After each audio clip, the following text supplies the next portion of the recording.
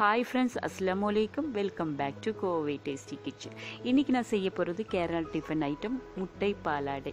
இந்த முட்டை பாலாடை பார்த்தீங்கன்னா சாப்பிடும்போது ரொம்ப சாஃப்டாக இருக்கும். இதில் ஃபில்லிங் பார்த்தீங்கன்னா நான் வந்து தேங்காய் துருவலும் சர்க்கரை போட்டு ஃபில் பண்ணியிருக்கேன். அது ரொம்ப நல்லாயிருக்கும் ஒரு சில இடத்தில் வந்து ஃபில்லிங் வந்து கடலைப்பருப்பு வேக வச்ச கடலைப்பருப்பு வெல்லம் போட்டு பண்ணுவாங்க. இதுவும் நல்லாயிருக்கும் குட்டீஸுகளுக்கெல்லாம் பார்த்தீங்கன்னா இந்த டிஃபன் கொடுத்தீங்கன்னா ரொம்ப விரும்பி சாப்பிடுவாங்க. பெரியவங்களும் சாப்பிடுவாங்க. இது நம்ம வந்து எப்படி செய்யறதுன்னு நம்ம பார்க்கலாமா? ஒரு கப் பச்சரிசி எடுத்துக்கணும். இது இரநூறு கிராமுக்கான கப்பு இதை வந்து நம்ம அஞ்சு மணிக்கூர் நேரம் ஊற வச்சுக்கணும். நெக்ஸ்ட் பார்த்தீங்கன்னா ஊற வச்ச பார்த்தீங்களா பச்சரிசி? ஒரு கப் அதே கப்பில் மைதா மாவு அரை சின்ன வெங்காயம் ஒரு டீஸ்பூன் ஜீரகம் மஞ்சத்தூள் கால் டீஸ்பூன் முட்டை ஃபில்லிங்க்கு வந்து தேங்காய் துருவல் சர்க்கரை. நெக்ஸ்ட்டு பார்த்துட்டிங்கன்னா ஒரு ஜார் எடுத்து அதில் பச்சரிசி நல்லா கழுவி அதில் உப்பு போட்டு சின்ன வெங்காயம் நாலஞ்சு சின்ன வெங்காயம் மஞ்சத்தூள் ஒரு டீஸ்பூன் ஜீரகம் எல்லாத்தையும் போட்டு பேஸ்ட் பண்ணி வச்சுக்கணும். அப்புறம் நெக்ஸ்ட்டு பார்த்தீங்கன்னா அதே கப்பில் இருக்க மைதா மாவு ஒரு கப்பு அதையும் போட்டு ஒரு கப் தண்ணி ஊற்றி பேஸ்ட் பண்ணிக்கணும்.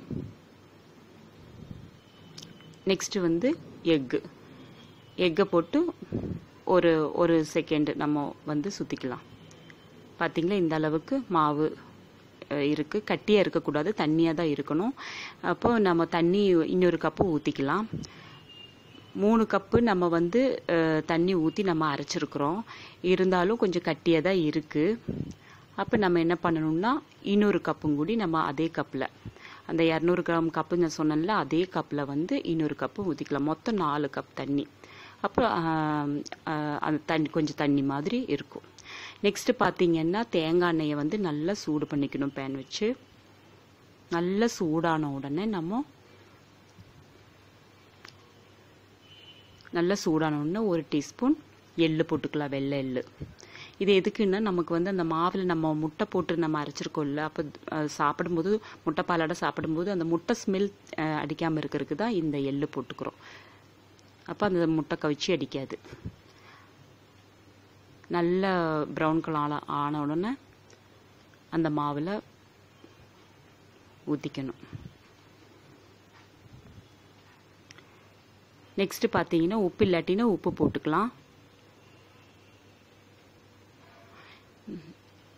ஒரு கரண்டி மாவை எடுத்து இந்த மாதிரி சுற்றி இப்படி ஊற்றிக்கணும் அப்போ தான் வந்து அப்படி பார்த்தீங்கன்னா மொறு மொறுன்னு இருக்கணும். பார்த்தீங்க எப்படி ஒரு சுத்து இப்படி அது நான்ஸ்டிக்கில் தான் நமக்கு பண்ண முடியும்.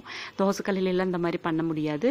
பாருங்க இப்படி முருகலாக வந்துருச்சு. இப்போ இந்த மாதிரி டைமில் நம்ம வந்து கொட்டிட்டு அதில் வந்து ஃபில்லிங் நம்ம பண்ணிக்கலாம். ஃபில்லிங் பண்ணிக்கலாம். தேங்காய் துருவில் நம்ம வந்து போட்டு சர்க்கரையோ அது மேலே ஒரு டீஸ்பூன் போட்டு உங்களுக்கு இனிப்புக்கு தகுந்த மாதிரி ரோல் பண்ணிக்கணும். இந்த சேனல் உங்களுக்கு பிடிச்சதுன்னா சப்ஸ்கிரைப் பண்ணுங்கள் சப்ஸ்கிரை சப்ஸ்கிரைப் பக்கத்தில் குட்டி ஐக்கான் பெல் இருக்கும். அதை கிளிக் பண்ணிங்கன்னா நான் வந்து போடுற வீடியோட நோட்டிஃபிகேஷன் உங்களுக்கு கிடைக்கும். தேங்க்யூ